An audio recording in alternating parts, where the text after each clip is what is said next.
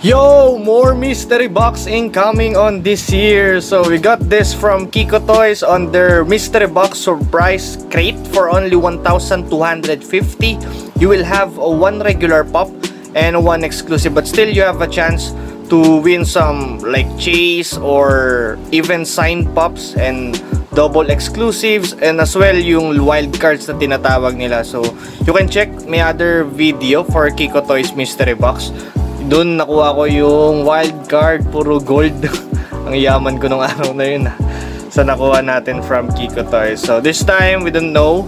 But still, we'll try our luck again on their mystery box. Sobrang solid nung packaging. So, wala nang patumpik-tumpik pa. Unbox natin and let's go!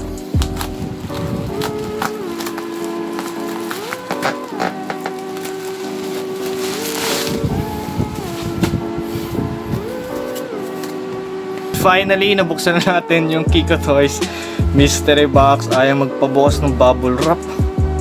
And super sealed.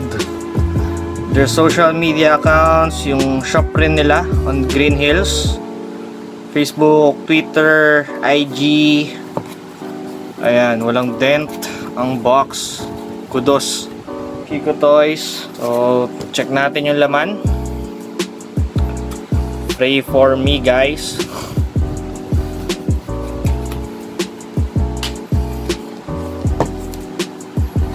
Hop! Like last time, taligod natin. Then,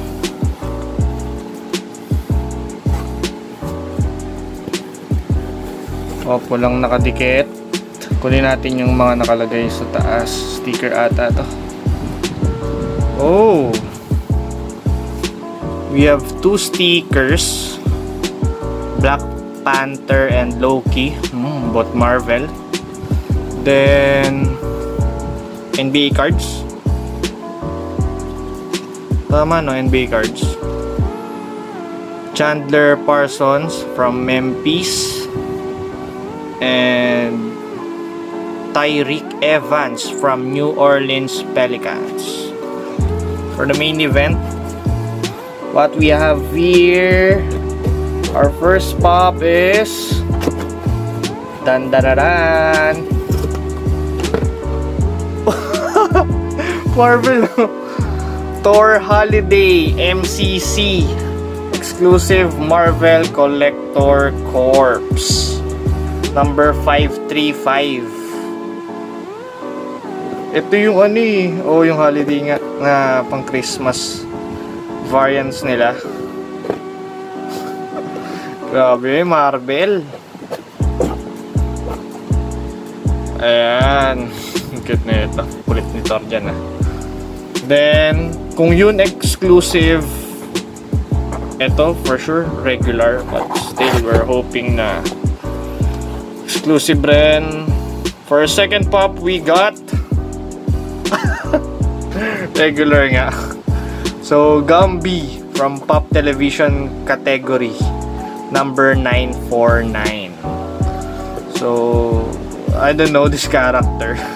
Ano itong mukhang bubblegum na tao? So, at least we try our luck na makakuha ng mga solid pulls. So, thank you Kiko Toys. Till next mystery box unboxing. See you guys. God bless.